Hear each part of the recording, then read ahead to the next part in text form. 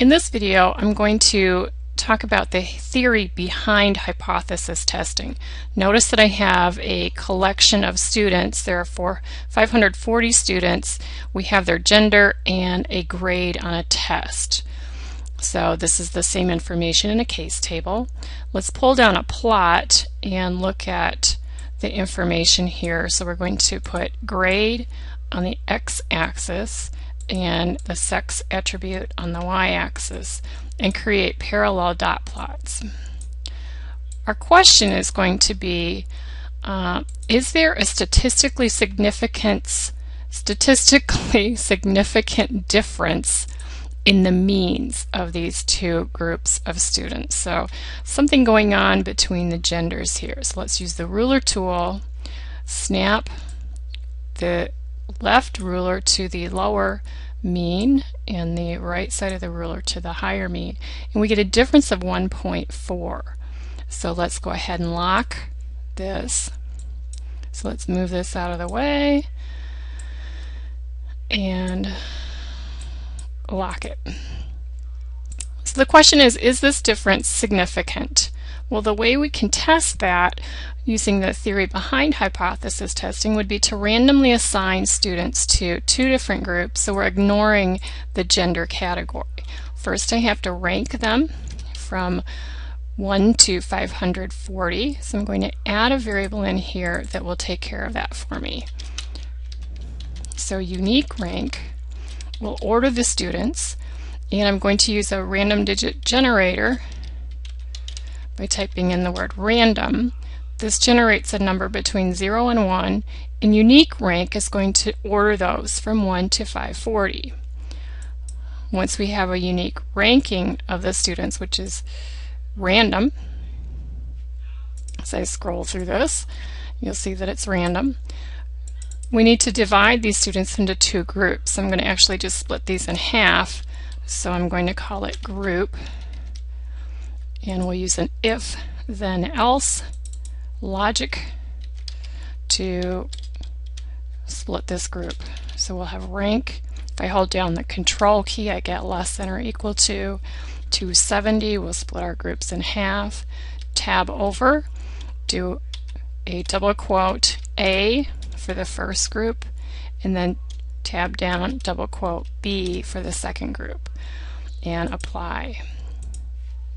Every time I click on Control Y, this unique rank changes because it's a random digit um, generator in there and the grouping will change.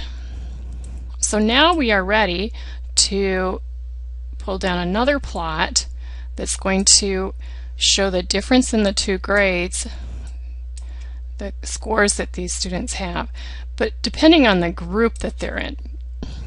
And so let's take grade again and put this on the x-axis and create our parallel dot plots. We can stack these, put in our average. Let's use our ruler tool. And we'll go in the same order. If gender doesn't matter, would we get a difference of 1.4? So that kind of brings us to our hypothesis statement. The null hypothesis would say that the means of these two groups is equal. And the alternate hypothesis would say that the mean score for the for the girls is 1.4 units higher than the mean for the guys. On this particular uh, random assignment of the two groups, we have a difference that's actually in the other direction of negative 1.1. If we randomize the groups again, we get negative 1, negative 0.6, and now we get 0.3 and negative 0.2. Oh, that's what I want to do. Okay, so I don't want to lock it on the group. I want to lock this on sex because I want to see that I've actually kind of randomly assigned these students to the different groups. So are we getting all of the guys up here and all the girls in the in the lower dot plot? And, and we're not. It's it's pretty random. It's pretty mixed up. Are they equal amounts? Probably not, but they'll be close. So let's turn on our number tool so we see that we've split this data set in half. You do not have to have equal um, counts in your two groups to conduct a hypothesis test situation, but I set it up this way so we do. So some of you may have guessed where I'm going next with this. I want to capture this difference over a number of random samplings and we're going to actually do this 100 times. So let's go ahead and set up our history tool and I'm going to click on the difference. I have a number of options but I actually want to capture that difference. So we want to see over 100 samples how many times is that difference going to be greater than 1.4? So let's ratchet this up to 99 because we already have one in there and we will collect 99 measures. These are the differences between the two groups, uh, between the means of the two groups. And I'm going to pause as this runs. Okay, so we have collected 100 differences between the means in our two sample groups. So let's pull down a plot and take a look at what we have here. We're going to graph this in a dot plot. So let's separate this out and stack them up. And we expect to have a fairly nice distribution here. Let's use a reference line to locate this 1.4 so when was the difference above 1.4? And I'm going to use the divider tool set to two divisions here so we can actually count those. In this particular run of 100, we have 27 or 27% of the time. So it's hard to just both of these at the same time. So let's see. 25, 27. So we, we're, we're, you know, this is going to be an approximation here.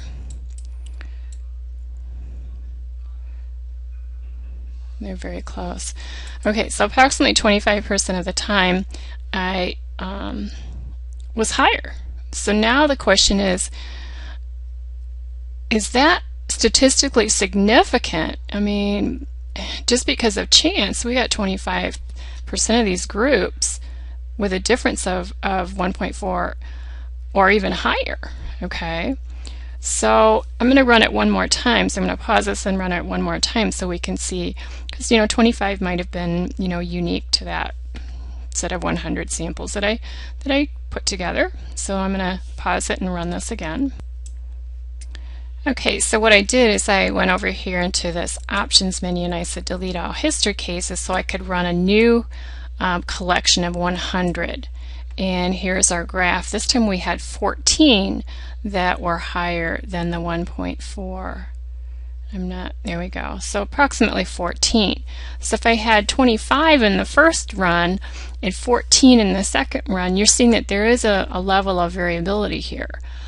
So the question is, let's you know, let's run it one more time so we can at least have the average. So those are pretty far apart. Let's get, get an average of at least three runs here. So I'm going to pause it again, delete those cases, and create one more plot. Okay, so in this run we got 13 that were higher. So what I did is I, you know, I cleared the history, ran it again, got 13. Um, if I average those three, I get something around 17. So if we average those, we say 17% of the time I'm getting something that's higher than the 1.4. So due to chance, this difference doesn't look to be very significant. I'm going to scroll over here and show how I put this data into Fathom. Um, I copied the collection and I pasted into a new collection in Fathom. I dropped grade here for the first attribute and sex in for the second attribute.